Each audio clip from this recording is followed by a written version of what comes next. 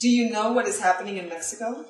President Enrique Peña Nieto wants to finish with Mexico's alternative and community media, such as indigenous radios. He also wants to create silent zones that would require telcos to stop broadcasting any phone, internet, and radio signals during demonstrations, rallies, and during situations deemed by them threatening to national security.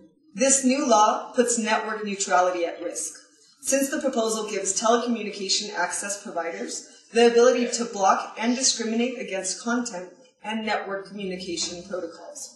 Can you imagine a pay-per-view internet? We can't either. This is censorship. This is an attack on freedom of speech. And this law seems to target what our president's headache seems to be since the beginning of his regime social networks and the way we organize through them. This law also restores the status of the preponderant corporation Televisa, which for decades had been the main ally of the ruling government party, El PRI, Peña Nieto's party.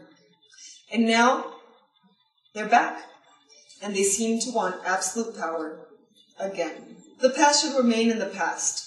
This is a new world, and we are a new generation, and we deserve to express ourselves freely. We deserve to choose and develop ourselves with freedom. Internet must flow. All voices should be heard. That is why we launched this global call. So you can help us spread worldwide what is happening in Mexico. This is not just about internet censorship. This is not just about the growing power of Mexican preponderant and abusive corporations that Peña Nieto is empowering. This is about them trying to conceal the truth about what is happening in Mexico. The violence we live day to day.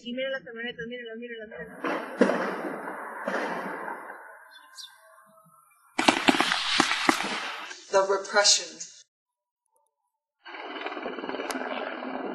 The hundreds of thousands of disappearances. The outrageous poverty and illiteracy. The intolerable corruption and impunity.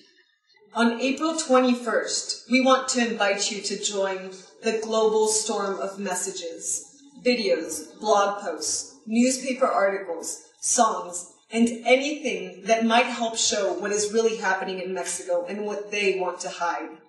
On April 22nd, we will take the streets, and we won't feel alone if you help us make it visible.